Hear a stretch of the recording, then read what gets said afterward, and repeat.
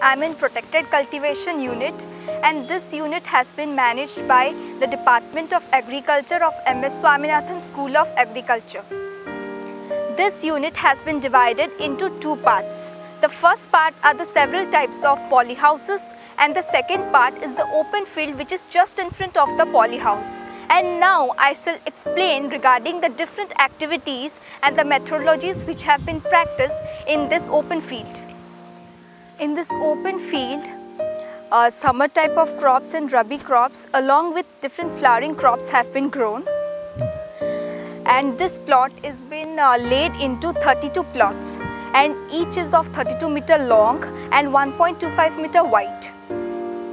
The crops which are grown over here are chili, tomato, brinjal, French bean, peas, okra and several cole crops, green leafy vegetables, zucchini, watermelon. For raising of these crops, good agricultural practices have been adopted. Initiative have been taken to maximize water productivity and here all the crops are irrigated by drip.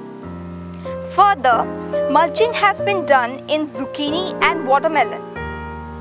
Nutrient management has been done by applying farmyard manure, vermicompost, chemical fertilizers.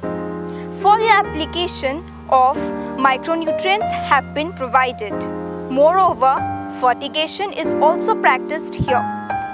For plant protection, different type of IPM methods have been adopted. To monitor and mass trapping, light traps, pheromone traps, yellow and blue sticky traps and bird perch are been erected.